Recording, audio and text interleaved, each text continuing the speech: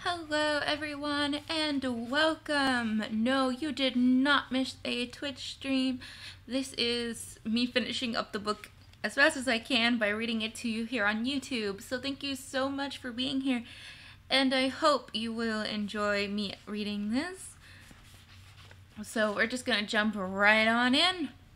Chapter 14 Which is Full of Kobolds Again. Carmen was still thinking of Calcifer when she got up the next morning. As she came out of the bathroom, she saw that Peter was busily engaged in changing the sheets on Great Uncle William's bed and stuffing the old sheets into a laundry bag. Carmen sighed. More work. Still, she said to Waif as she put down the usual bowl of dog food, It keeps him busy and happy while I look for Calcifer. Now, are you coming up to those rocks with me? Waif always was only too pleased to go wherever Carmen went. After breakfast, she trotted eagerly after Carmen through the living room to the front door, but they never went to the rocks. As Carmen put out her hand to the door knob, Waif charged out from behind her and burst the door open. And there was Rollo on the doorstep in the act of reaching his small blue hand out for his daily crock of milk. Uttering teeny snarls, Waif sprung upon him, got her jaws round Rollo's neck, and pinned him to the ground. Peter! Carmen roared.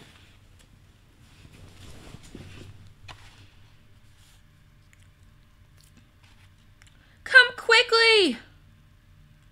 We need a bag! We need a bag. She put one foot on Rollo to keep him in place. Bag! Bag! she screamed. Rollo kicked madly and bounced about under her shoe while Waif let go of him in order to bark. Rollo added to the din by yelling, Help! Murder! Assault! As a strong grating howl, in a strong grating howl. Peter, to do him justice, arrived at a run. He took one look at the scene in the doorway and snatched up one of Mrs. Baker's embroidered food bags, which he managed to get over Rollo's flailing legs. Before Carmen could draw breath to explain, ne- next second, Peter had the bag entirely over Rollo and was holding it up, bulging, twisting, and dripping milk with milk. While he tried to reach on reach one of his own pockets. Nice work, he said. Get some string out of the out of that pocket, will you? We don't want him getting away. And when Carmen was fumbling out a length of purple string from the pocket, he added, Have you had breakfast? Good. Tie the top of the bag really tight. Then take it and hold it fast while I get ready. Then we can go straight there. uttered the bag as Peter passed it over. Shut up, Carmen said to it and hung on to it, the bag with both hands just above the purple string. The bag twisted with this way and that. While Carmen watched, Peter dragged lops of colored string from pockets all over his coat.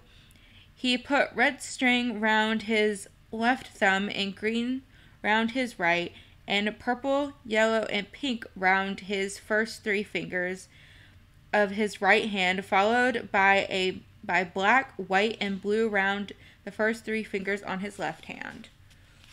Waif stood on the doorstep, frayed ears crocked, staring up at the process with interest. Are we going to find the end of the rainbow or something? Carmen asked. No, but this is how I've memorized the way to the kobolds, Peter explained. Right. Shut the front door. Let's go. shouted the bag. And the same to you, Peter said, leading the way to the inner door. Waif trotted after, and Carmen followed with the writhing bag.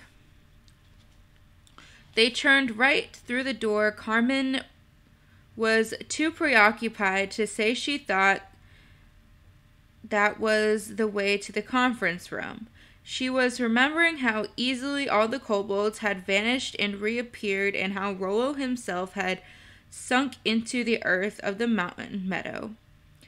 It seemed to her that it was only a matter of time before Rollo sank out of the bottom of the embroidered bag. She kept one hand underneath it, and she was sure that was not enough. With milk dripping between her fingers, she tried to keep Rollo in with a spell. The trouble was, she had no idea how to do this.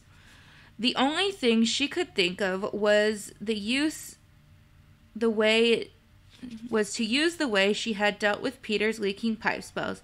Stay inside! Stay inside! She thought at Rollo, massaging the bottom of the bag. Each massage produced another muffled yell from the bag, which made her sh- sure that Rollo was get wasn't which made her sure that Rollo was getting away. She had simply followed Peter as he turned this way and that and never noticed how you got to the kobolds at all.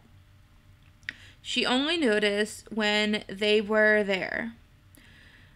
They were standing outside a large, well lit cave full of little blue people rushing about.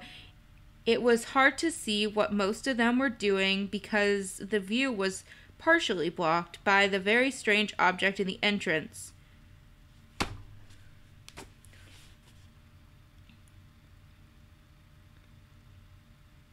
This object looked a little like one of the horse drawn sleds that people used in High Nordland when the winter snows came and made it impossible to use the cart or carriage except that this thing had no way to hitch a horse onto it. It had a huge curvy handle and at the back instead of at the back instead and had curls and curvy bits all over it. Dozens of kobolds were working at it, climbing this way and that over it as they worked. Some were lining the inside with padding and sheepskin. Some were hammering and carving, and the rest were painting the outside with curly blue flowers on a gold background. It was going to be very magnificent when it was finished, whatever it was. Peter said to Carmen, Can I trust you to be polite this time? Can you remember to be tactful at least? I can try, Carmen said. It depends. Then let me do the talking, Peter told her. He tapped the nearest busy kobold on the back. Excuse me, can you tell me where I can find Tim. Tim. Timminz? Timminz, I believe. That's what it says. Halfway down the cave, the kobold piped, pointing with the, her paintbrush, working on the cuckoo clock. What do you want him for? We've something very important to tell him, Peter said. This attracted the attention of most of the kobolds working on the object. Some of them were turned and looked apprehensively at Waif. Waif at once looked sp- spry- sprightly at them, I guess, sprightly at them, demure and lovable. The rest start, stared at Carmen, and the withering embroidered bag. Who have you got there? One of them asked. Rollo, said Carmen. Most of them nodded without seeming at all surprised. When Peter asked, Is it all right to go and speak to Tim- Timminz? They all nodded again and told him, Go ahead. Carmen got the feeling that nobody liked Rollo very much. Rollo seemed to know this because he stopped writhing and made no kind of noise while Peter edged his way past the strange object, and Carmen came after him, holding the bag sideways so as to not get paint on it. What are you making? she asked the nearest kobolds as she went. Commission from the elves, one of them answered. Another added, Going to cost a lot. And a third said, oh, Elves always pay well. Carmen came out into the cave feeling none the wiser. The place was huge, and there were teeny kobold children tearing about among the busy adults. Most of the children screamed and ran away when they saw Waif. Their parents mostly moved prudently round to the back of whatever they were working on and went on painting, polishing, or carving. Peter led the way past the rocking horses, doll houses, baby chairs, grandfather clocks, wooden settles, and wind up wooden dolls until they came to the cuckoo clock. It was unmistakable. It was enormous. It was a giant wooden casing stretched all the way up to the magically lighted roof. It was huge clock it was its huge clock face was propped up separately, filling most of the walls beside the casing. And the and the cuckoo for it, which a score of kobolds were de- delight diligently covering with feathers, was rather larger than Carmen and Peter together. Carmen wondered whoever might want a cuckoo clock that big. Timminz was climbing about in the mass in the massive cl- clockwork with a teeny spanner. There he is, Peter said, recognizing him by his nose. Peter went up to the to the giant works and cleared his throat. Excuse me. Excuse me. Timminz swung himself round a mighty coil of metal and glowered at him. Oh, it's you, he eyed the bag. Kidnapping people now, are you? Rollo must have heard Timminz' voice and felt he was among friends. the bag bellowed. That's Rollo. Timminz said accusingly. That's right, Peter said. We've brought him here to confess to you. The Lubbock on the mountain paid him to make trouble between you and Wizard Norland. The bag shouted. But Timminz had gone silvery blue with horror. The Lubbock? he said. That's right, said Peter. We saw him yesterday asking the Lubbock for his reward. And the Lubbock gave him the crock of gold from the end of the rainbow. Denied the bag loudly. Both of us saw it, Peter said. Let him out, Timminz said. Let him speak.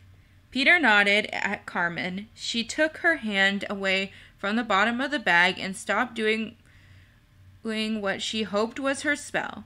Rollo instantly fell through the floor to fell onto the floor where he had spitting out milky ends of embroidery wool and old crumbs and glaring at Peter.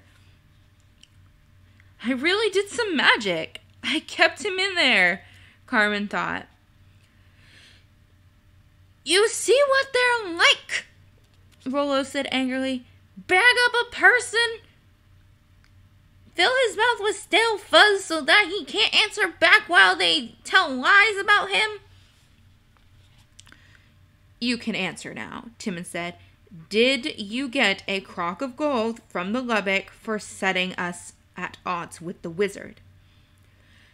How could I have done? Rollo asked vir- um, virtuously. No kobold would ever seen dead talking to a Lubbock. You know, I, you know that. Quite a crowd of kobolds had gathered around by now at the safe distance from Waif, and Rollo waved dramatically arm dramatically waved arms everywhere.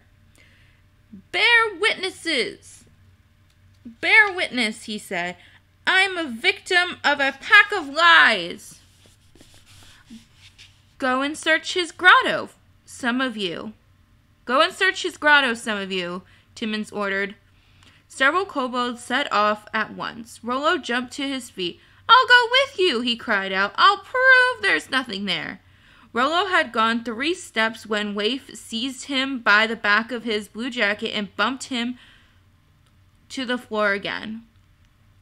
She stayed there, teeth in Rollo's jacket, frayed tail wagging, with one ear crooked forward, Carmen as if to say, Didn't I do well? You did wonderfully well, Carmen told her. Good dog. Rollo shouted. Call it off! It's hurting my back! No, you can stay there until they come back. They're from searching your grotto, Carmen said. Rollo folded his arms and sat looking righteous and sulky. Carmen turned to Timminz. Is it all right to ask you who wants such a big clock while we wait? She she she explained, seeing Peter shaking his head at her. Timminz looked up at the vast piece of clock. Crown Prince Ludovic, he said with a gloomy sort of pride. He wanted a whopper for a cas- for Castle um, Josie. Gloom swallowed up his pride. He hasn't paid us a penny yet. He never does pay. When you think how rich he is. He was interrupted by the kobolds coming back at a run. Here it is, they shouted. It is this it? It was under his bed. The kobold in front was carrying the crock in both arms. It looked like an ordinary clay pottery clock crock the kind someone might use to make a stew in an oven, ex- except that it had a sort of glow around it and in a faint co- and in faint rainbow colors. That's the one, Peter said. Then what do you think he did with the gold? the kobolds asked. What do you mean? What did I do with the gold? Rollo demanded. That was that there pot was stuffed full. He st- stopped, realizing he was giving himself away. It isn't now. Take a look if you don't believe me, the other kobold retorted. He dumped the crock down between Rollo's outstretched legs. This this is just how we found it. Rollo bent into bent to look inside the pot, he uttered a cry of grief. He plunged his hand into it and brought out a handful of dry yellow leaves. Then he brought out another handful and another, until he and both hands inside the empty crock and was sitting surrounded by dead leaves. It's gone, he howled. It turned into dead leaves. The Lubbock cheated me. So you admit the Lubbock paid you to make trouble? Timminz said. Rollo scowled up sideways at Timminz. I don't admit to anything except that I have been robbed. Peter coughed. I'm afraid the Lubbock cheated him worse than that. It's laid its eggs in him as soon as his back was turned. There was a gasp from all around. Big nosed kobold faces stared at Rollo, pale blue in horror, noses and all, and t- turned to Peter. It's true. We both saw it, Peter said. Carmen nodded. They turned to her. True, she said. It's a lie, Rollo howled. They're pulling, you're pulling my leg. No, we are not, Carmen said. The Lubbock stuck out its egg laying prong and got you in the back just before you went down into the earth. Didn't didn't you say just now that y- your back hurt? Rollo's eyes popped at Carmen. He believed her. His mouth opened. Waif scrambled hastily away as he began to scream. He threw the pot aside. He drummed his heels in a storm of dry leaves and yelled until his face was navy blue. I'm a goner, he blubbered. I'm walking dead. There's things breeding inside of me. Help! Oh, please help me, somebody! Nobody helped him. All the kobolds backed away, still staring in horror.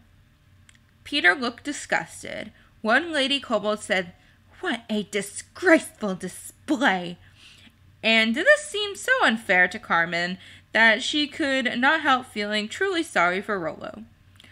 The elves can help him, she said to Timminz. What did you say? Timminz snapped his fingers. There was a sudden silence, although Rollo continued to drum his heels and to open and shut his mouth. Nobody could hear a noise. What did you say? Timminz said to Carmen. The elves, Carmen said. They know how to get Lubbock eggs out of a person. Yes, they do, Peter agreed. Wizard Nordland had Lubbock eggs laid in him. That was why they took him away to cure him. An elf came yesterday with the eggs they'd taken out of him. Elves charge high, remarked a kobold by Carmen's right knee, sounding rather impressed. I think the king paid, Carmen said. Hush! Timminz' brow was wrinkled right down to his nose. He sighed. I suppose, he said, we can give the elves their sled chair for nothing in exchange for them curing Rollo. Curses! That's two commissions we won't get paid for. Put Rollo to bed, some of you, and I'll t- talk to the elves. And I warn all of you again not to go near that meadow. Oh, that's all all right now, Peter said cheerfully. The Lubbock's dead. The fire demon killed it. What? shrieked all the kobolds. Dead? They clamored. Really? You mean the fire demon that's visiting the king? Did he actually kill it? Yes, really, Peter shouted through the noise. He killed the Lubbock, and then he destroyed the eggs and the, the elf brought. And we think he destroyed himself, too, Carmen added. She was fairly sure none of the kobolds heard her. They were all too busy dancing, cheering, and throwing their small blue hats into the air. When the noise had died down a bit, and four sturdy kobolds had carried Rollo away, still soundlessly kicking and screaming, Timminz said sincerely to Peter, That Lubbock kept us all in fear in being that in being the parent of the crown prince and all. What can we give the fire demon to show our gratitude, do you think? Put Wizard Nordland's kitchen taps back, Peter said promptly. That, said Timminz, goes without saying. It was Rollo's doing that they were taken away. I meant, what can mere kobolds do for a fire demon that it cannot do for itself? I know, Carmen said, everyone was respectfully quiet. She went on, Calcifer and his, er, family were trying to find out where all the king's money keeps disappearing to. Can you help them do that? There were murmurs around Carmen's knees of, easy that is, and that's no problem and quite a ripple of laughter as if Carmen had asked a stupid question. Timminz was so relieved that his brow unwrinkled entirely, making his nose and his whole face twice as long. That that is easy to do, he said, and costs nothing. He glanced across to the other side of the cave where at least sixty cuckoo clocks hung, all wagging their pendulums in sixty different rhythms. If you come with me now, I think we should just be in time to see the money going. Are you sure the fire demon would be pleased by this? Absolutely, Carmen said. Then follow me, please, Timminz said. He led the way toward the back of the cave. Wherever they were going to turn turned out to be quite a long walk. Carmen became as confused as she had been on the way to the kobold's cave. They were in half dark the whole distance, and the route seemed to all be all bends and sharp turns and hairpins, corners ever every so often. Timminz would say, three short steps and a right turn, or count eight human step sizes and turn left. Then sharp right, then left again. And this went on for so long that Waif became tired out and whined to be picked up. Carmen carried her for what seemed to be more than half the way. I must explain that the Col- that the kobolds here belong to a different clan, Timminz said. When at le- at last there seemed to be a little daylight ahead, I like to think that my clan would have managed better than they do. Then, before Carmen could ask what he meant, he went into a flurry of sharp rights and slow lefts, with a couple of zigzags thrown in, and she went found and she found they were at the end of the underground passage in cool green daylight. Marble steps, all greened over with mildew, led up to into some bushes. The bushes must have once have been planted on either side of the steps, but they had grown to fill the space entirely. Waif began to growl, sounding like a dog twice her size. Hush, Timminz whispered. No noise at all from here onward. Waif stopped growling at once, but Carmen could feel her small hot body throbbing with hidden growls. Carmen turned to Peter to make sure he had the sense to keep quiet too. Peter was not there. There was only herself, Waif, and Timminz. Carmen, wholly exasperated, knew just what had happened. Somewhere along the confusing way, when Timminz had said turn left, Peter had turned right, or the other way around. Carmen had no idea what had happened at this point, but she knew it had. Never mind, she thought. He has enough colored strings round his fingers to find his way to Ingary and back. He'll probably arrive at Great Uncle William's house before long, before I do. So she forgot about Peter and concentrated on tiptoeing up the slippery, mildewy steps, and then on peering out from among the bushes without rustling so much as one leaf. There was a blazing sunlight beyond on blazing a very green, very beautifully kept grass with a blindingly white garden path beyond that. The path led up between trees that had been carved into knobs and points and cones and discs like a lesson in geometry to a small storybook palace, one that had many small pointed towers with little with little blue roofs. Carmen recognized it was Castle Host um, Josie, where Crown Prince Ludwig lived. She was slightly ashamed to realize that it was the building she always thought of when she looked when any book she was reading mentioned a palace. I must have been very unimaginative, she thought. Then no. Whenever her father made shortbreads to sell in boxes for May Day, a picture of Castle Josie always appeared on the top of the box. Castle Josie was, after all, the pride of High Nordland. No wonder it was so far to walk, she thought. We must be halfway down the Nordland Valley here. And it still is my idea of the perfect palace. So there. Footsteps crunched on the hot white path, and Prince Ludovic himself appeared in magnificent white and azure, and azure skill silk. Oh gosh, I can't read. Soldering toward the palace just before he was level with the bush where Carmen was, he stopped and turned. Come along, can't you? he said angrily. Get a move on. We're trying, your highness, piped a small, panting voice. A line of kobolds trudging into view, each bowed down under a knobby leather sack.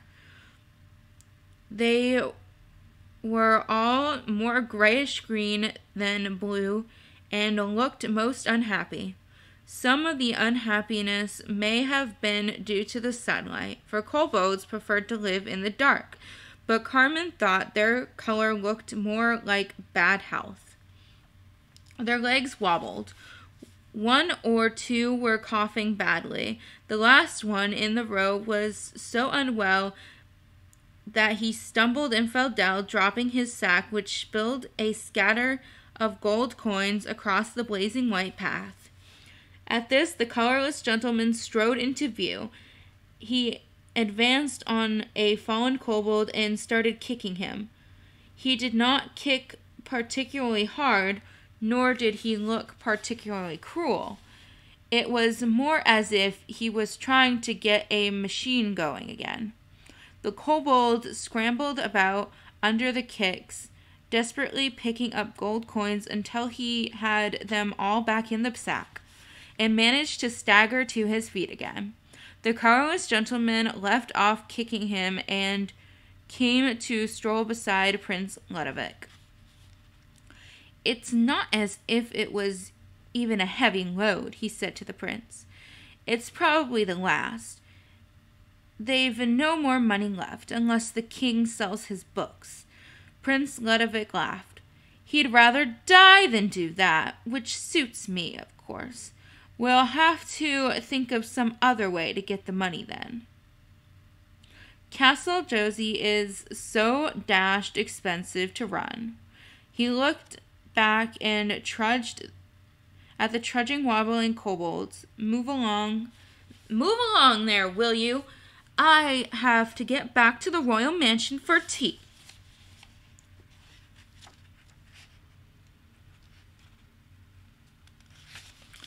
The colorless gentleman nodded and strode back to the kobolds, ready to start kicking again.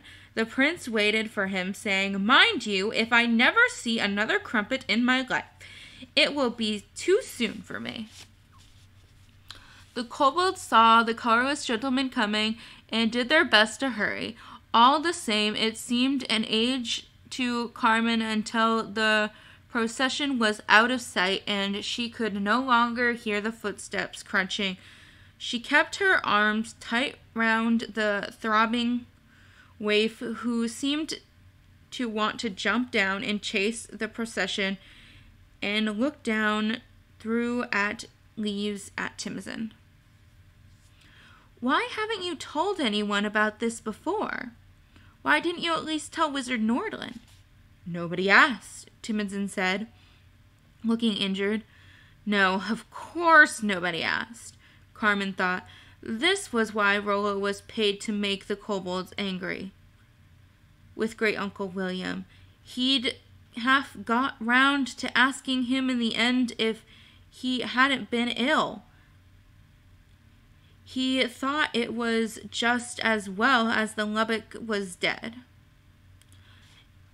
If the prince, if it was Prince Ludovic's parents, as Timminz had said, then it probably meant to kill the crown prince and rule the country instead of him. It had more or less told her so, after all, but that still leaves Prince Ludovic to deal with, he thought. I mean, she thought.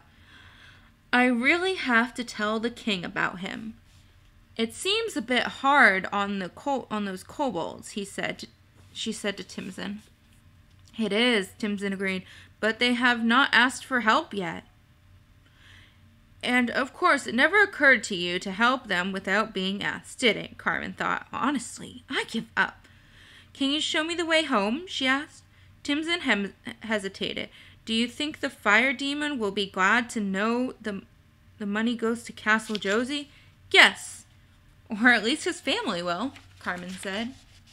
And that is the end of chapter 14. I hope you guys have enjoyed this reading, and I will see you for the next chapter.